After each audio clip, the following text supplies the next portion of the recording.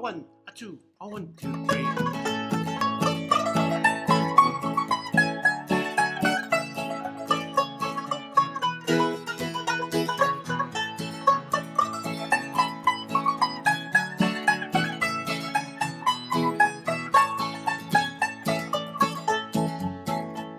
On the 4th of July, 1806, well, we set sail from the sweet cove of Cork.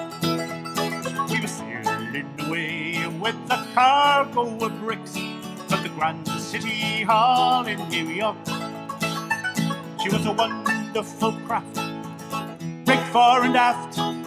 Know how the wild wind it drove her. She'd stood several blasts at 27 masts, and they called her the Irish Rover.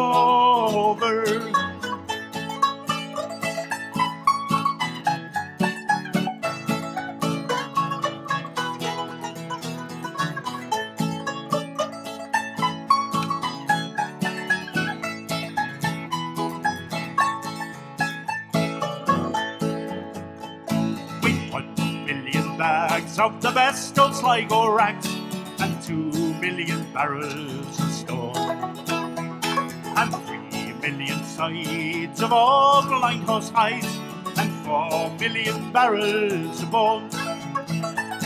And five million hogs, six million dogs, seven million barrels of porter, and we had eight million bales about old nanny the hold of the Irish rover.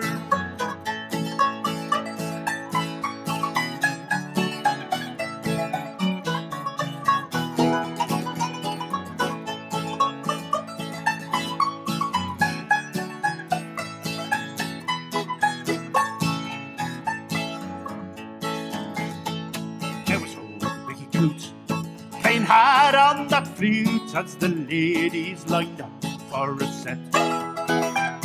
He was tinkling with skill with each sparkling quadrille. Though the dancers were fluttered and bet. With his smart, witty talk, he was cock of the walk. He rolled those names under and over, and they all knew at a glance. When he pulled down his pants, he sailed in the Irish Rover.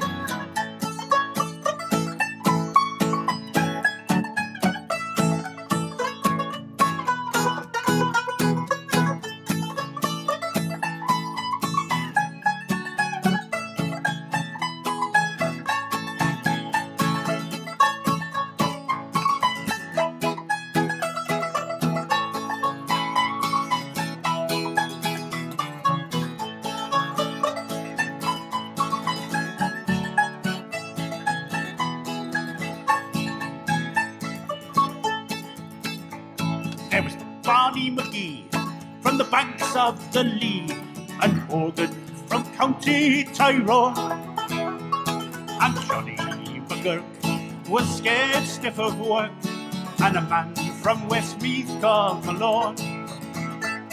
And Slugger O'Toole, was drunk as a rule, and fighting Bill Tracy from Dover, and your man Mike McCann from the banks of the Bann, he was skipper of the Irish Rover.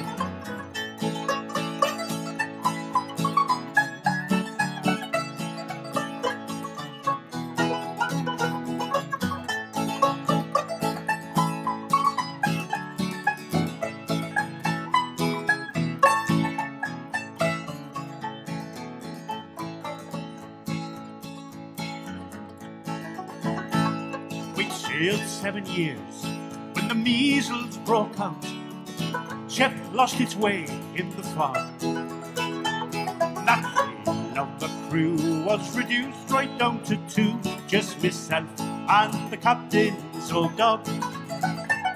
The ship it struck a rock. Oh Lord, what's a shock! The bulkhead was turned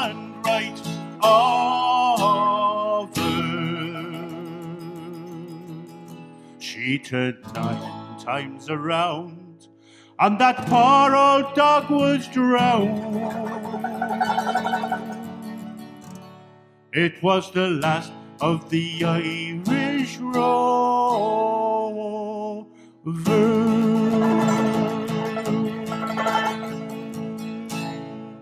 A one, a two, a one, two, three, four.